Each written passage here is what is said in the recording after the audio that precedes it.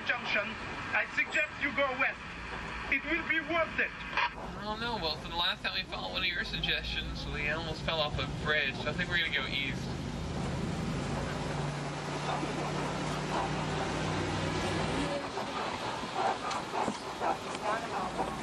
Oh, guys, look way back on that hill. Do you see the uh, cheetah prowling? The top of the hill to the left. Here in Harambe, we call them Duma, but no matter what language you say their name in, they're still the world's fastest land animal, running 60 to 70 miles an hour. Now, there are three things that cheetah cannot do that all other big cats can. Do you know what they are? They cannot retract their claws, good. They cannot roar, and they cannot climb trees. But being the uh, big cat that can't roar, it is the biggest cat that can purr. Okay. Yeah. So, That comes in there.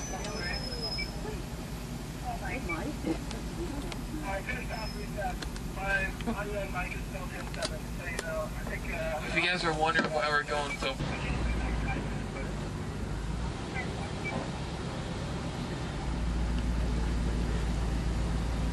Oh, what does this kind of remind kind of remind you of? Pride Rock. Pride Rock, yeah. Oh, wow. That's a on cue. Wow.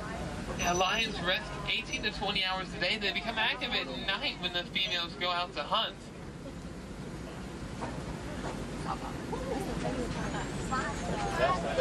Now, uh, Pride Rock and this rock formation here, they're called Kopjes, K-O-P-J-E-S, and it's either Afrikaans or Swahili, I can't remember, for uh, any of these rock formations that are formed by erosion from granite over the years.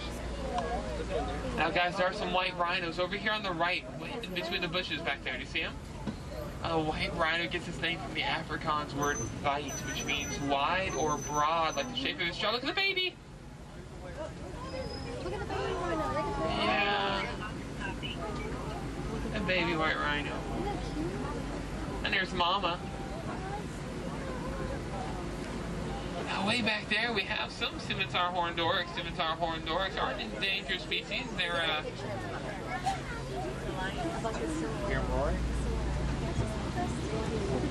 Hey guys, did you hear that? The lion just roared.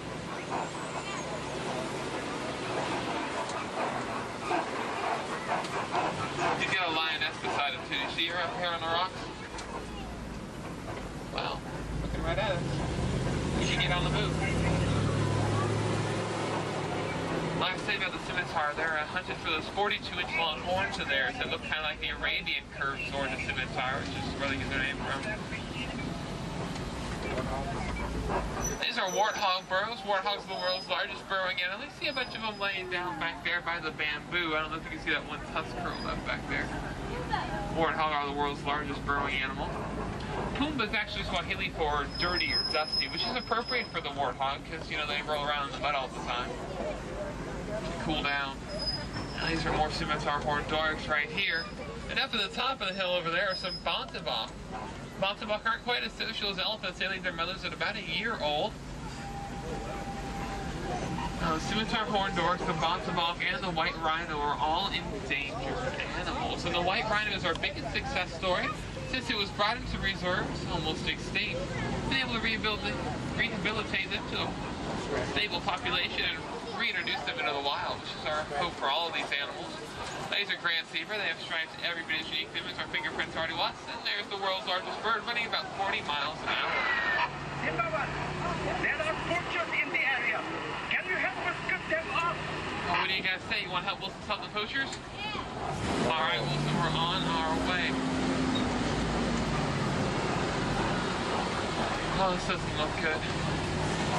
Unsafe area. That doesn't sound good either. Everybody hang on tight. Things might get really rough out here. The poachers are heading east. Keep going, and you drive them to my patrol. Over. Way ahead of you, Wilson. We're heading east now.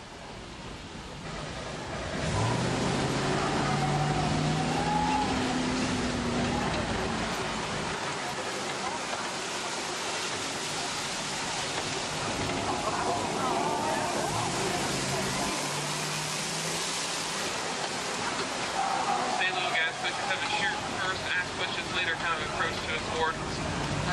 Warden Wilson said we're too late. The poachers already abandoned their camp. Oh, not to worry.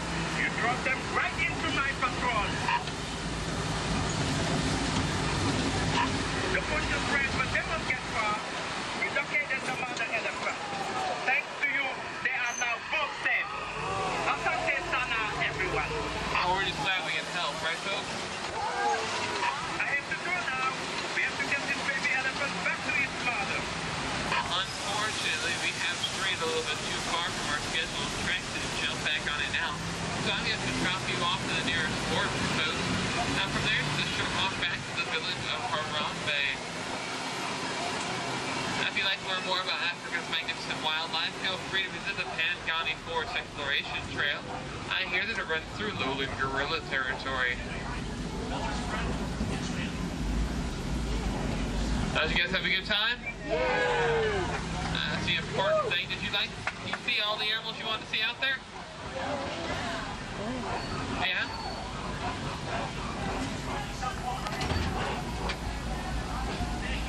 Well, here in Harambe, we don't like to say goodbye. We'd much rather say Kwaherini. Kwaherini is Swahili for, for go well. So Kwaherini, folks.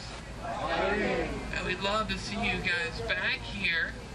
Now, what we'd hate to see you do is chase after the truck because you left something behind. So, uh, do check those net bags. Remember, I won't be back for another two weeks, so you really don't want to leave anything on board. And uh, watch your hands and feet on the right-hand side. The word's going to slide open those doors. I don't want you getting pinched. Yeah, that means you and the green polo. I know how smushed in you guys here.